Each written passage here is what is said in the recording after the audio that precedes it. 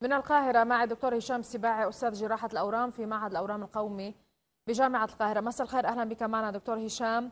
هل ستنجح هذه الخطة؟ يعني إذا ما بدأنا بنقطة التشخيص المبكر هل هذا صحيح؟ هل هذا يعتمد على التطور؟ لأنه دائما ما نعرف بمرض السرطان تحديدا وما يسمى بالمرض الخبيث بأنه ما بيكون في أصلا آه، العوارض لكشف المرض. ما الذي يمكن أن يفعله التطور الصناعي؟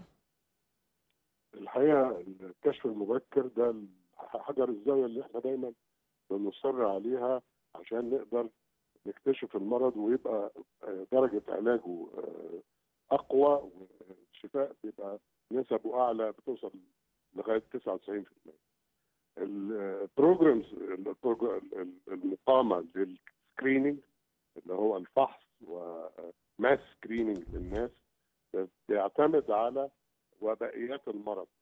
يعني في اليابان نمرة واحد سرطان المعدة اللي هم بياكلوا الأسماك الغير مطبوخه أو المجففة اللي فيها في الولايات المتحدة في الرجال سرطان البروستاتا في في مصر كان سرطان المثانة نتيجة وجود البلهارزيا أو البلهارسيا والقضاء عليها انتقل إلى سرطان الكبد نتيجة فيروس C. فبنعمل mass screening الذكاء الاصطناعي هنا إن يبقى في عندنا computers و program تحدد الناس وأعمارهم وبسهوله والمحافظات أو الاقليم صحيح بيانات أدق.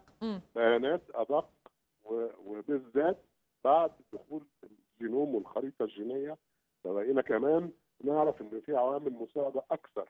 يعني مثلا في سرطان الثدي ما نقدرش نقول إن في آه آه يعني شيء familial يعني أو آه وراثي. لكن نقدر نقول إن في ناس عندهم استعداد جيني إنه لما يتعرضوا لمواد مسرطنة أكثر من العاديين يصابوا بالسرطان أكثر مثل معروف هي أنجلينا جولي. يعني كانت عارفة إن في عيلة فيها الجين ده فتيقنت إن عند سن معين هيجي لها سرطان ثدي وإحنا كنا عارفين كان نسبي يعني شيء 80% آه تقريبا. فهي كانت عارفة فشلت التدين احتياطيا ولا ان دي حاجة دراستيك لكن كنا إحنا عارفين ده لكن ما نقدرش نقول للمرضى كده يعني.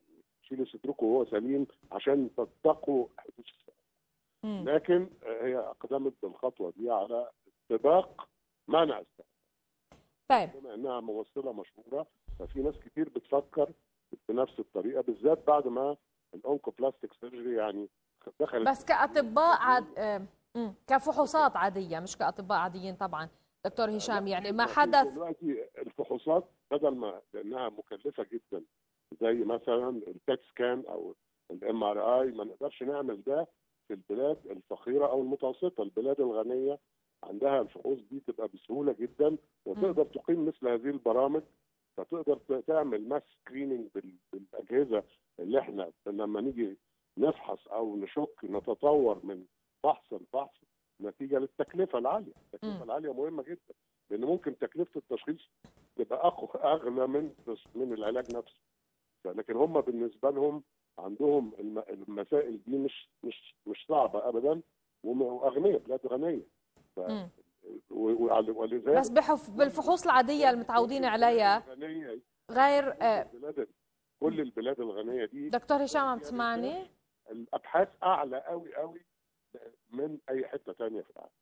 طيب أنا أنا أشكرك من القاهرة دكتور هشام سباعي أستاذ جراحة الأورام بمعهد الأورام القومي بالجامعة جامعة القاهرة. شكرا.